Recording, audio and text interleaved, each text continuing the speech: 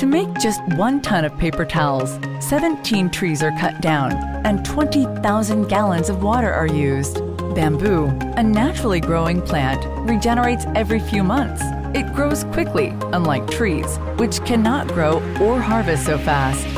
Bamboo towels are stronger and more absorbent than regular paper towels.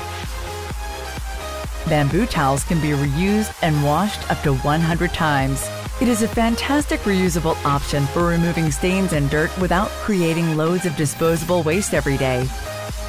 Bamboo is not only good for the planet, but also is a great solution for our homes, saving money and trees.